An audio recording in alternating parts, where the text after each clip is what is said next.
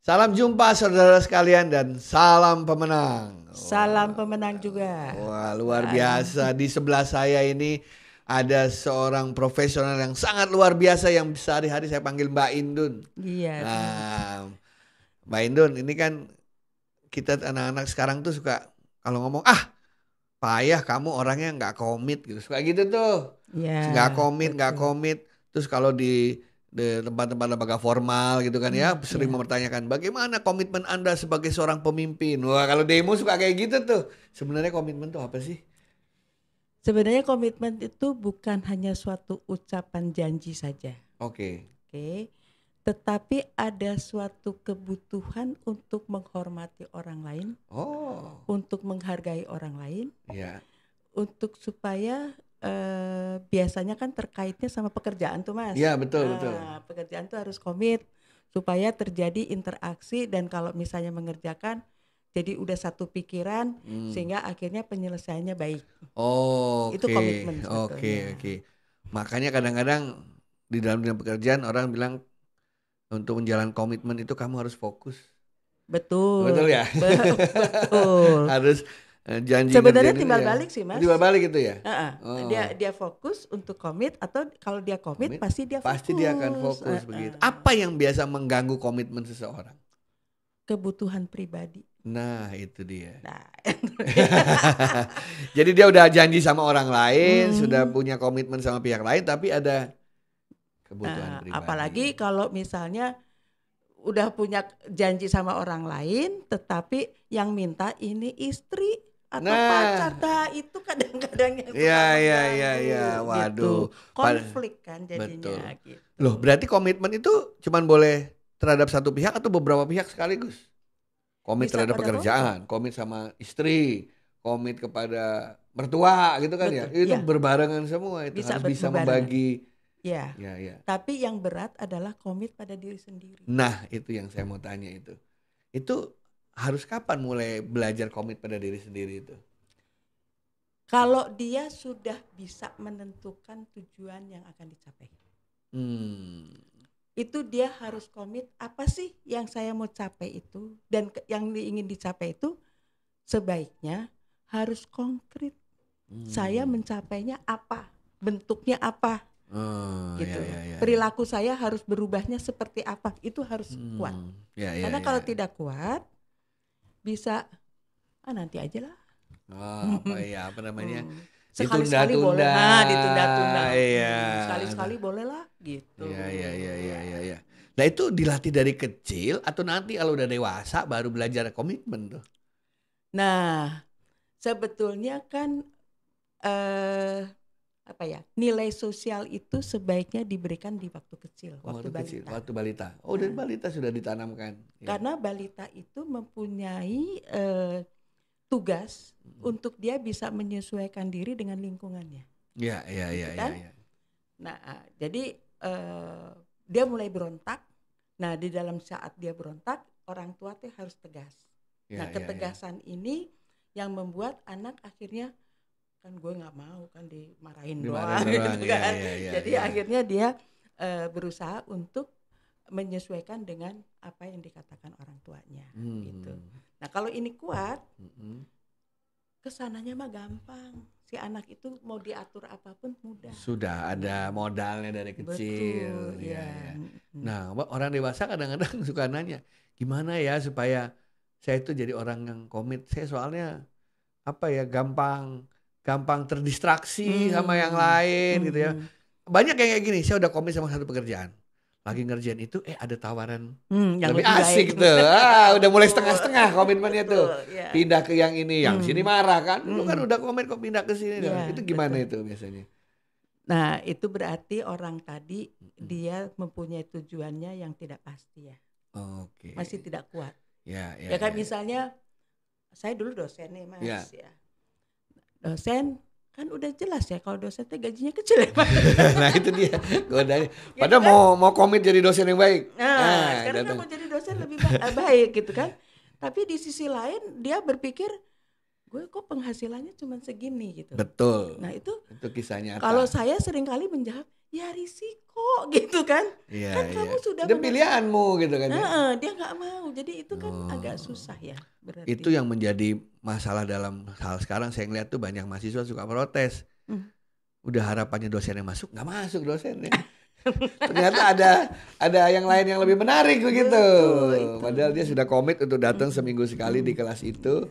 Terus ada sesuatu yang lebih menarik, dia pindah. Betul. Hmm. Padahal komitmen itu Pak, eh, Mas, kalau dia misalnya mengikuti, Mm-mm. dia sebetulnya akan mudah untuk mengembangkan kompetensinya. Hmm, ya ya ya. Ya kompetensinya, ya dia mengarahkan perilakunya. Iya iya iya Gitu. iya iya iya. Nah itu yang yang kadang-kadang kadang-kadang orang tuh minta ya karena emosional ya, Mas, Iya. ya. emosi juga berpengaruh kan Iya, terhadap betul. perilaku orang gitu. Dan orang timur tuh Hmm. suka nggak enak ngomong tidak. ada ya, ayah, Iya kan? ada Udah komit gitu. sama satu hal terus ada orang yang lebih senior minta tolong. Betul. Sekali ini aja deh tolongin, sekali-sekali gitu. Terus akhirnya kita bimbang gitu, nggak Iya. enakan Hmm, gitu iya. ya. Nah, kalau kada kalau kayak gitu, Iya. kalau dia komitmennya baik, Iya.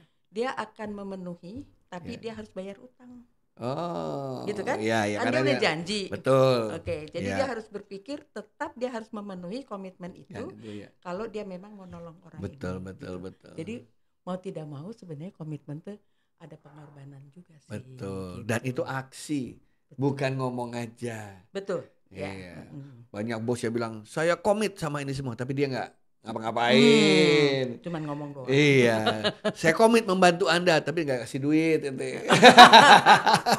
Maksudnya itu kan invest, tapi dia bilang Iya. komit, pokoknya komit gitu. Oke, oke, oke, oke. Nah, sekarang eh, kiat-kiat apa yang Hmm. perlu dimiliki seseorang agar dia mulai memiliki komitmen yang baik atau mulai apa mengubah perilakunya dari yang komitmennya setengah-setengah, Hmm. yang tadi itu nggak fokus, Hmm. ada godaan dia pindah Hmm. gitu ya. Itu gimana cara melatih itu semua dari hal-hal yang kecil sehari-hari mungkin supaya dia menjadi pribadi yang punya komitmen Iya. baik. Berarti dia harus mengembangkan empatinya ya.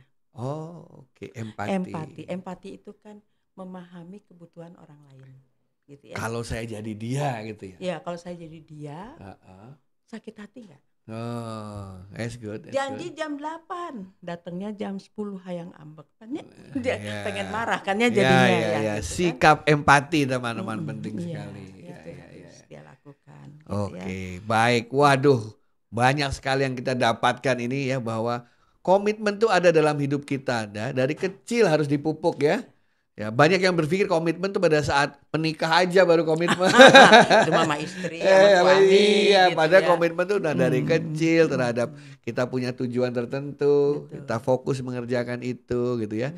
Dan tadi saya tertarik selain butuh empati juga terkadang membutuhkan pengorbanan. Betul. Iya, pengorbanan. betul ya. Karena kita sebagai manusia pasti punya kebutuhan, Iya, ya kan? Kebutuhan yang tidak bisa diukur, iya. gitu kan? Paling goda kan gini, saya malam harus ngajar. Hmm. Eh, tiba-tiba angkatan saya udah 30 tahun reunian. Nah, lo kan seka- Nah, nggak bingung ya? Iya, nggak nggak nggak setahun sekali reunian, Re- Hmm. reunian 30 tahun misalnya. Iya, betul. Sementara sih udah janji mau ngajar, itu kan perang batin tuh. Betul, Ya, betul. kalau saya ngajar, ah, udah rasanya memenuhi komitmen tapi Mhm, kehilangan sesuatu. betul. Tapi kalau saya ngikutin itu, Mhm. saya meninggalkan komitmen saya.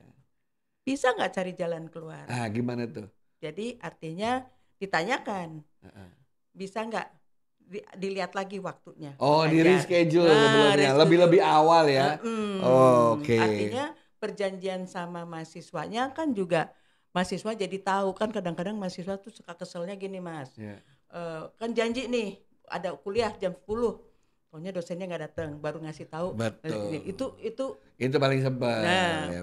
jadi kalau kita memang udah ada eh, apa janji d- mau datang ke reunian tadi kita udah gimana bisa nggak ya mahasiswa saya digeser Oke. jadi kita bikin janji lagi Ya, iya, iya. gitu. Saya jadi ingat sama listrik nih.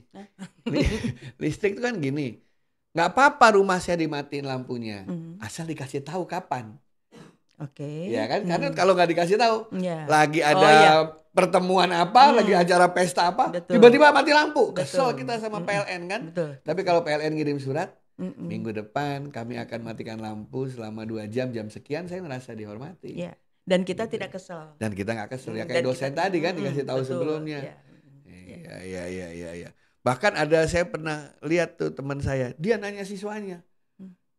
Adik-adik minggu depan itu ibu mau ada reuni 30 tahun. Tapi pas kelas kita, menurut adik gimana? Malah dibantuin sama mahasiswanya.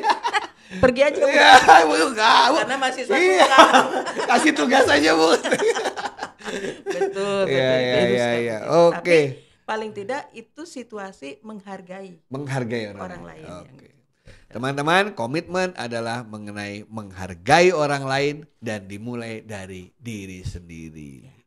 Terima kasih banyak, Mbak. Sama-sama. Nanti kita bertemu lagi dalam seri-seri berikutnya. Salam pemenang. Salam pemenang juga.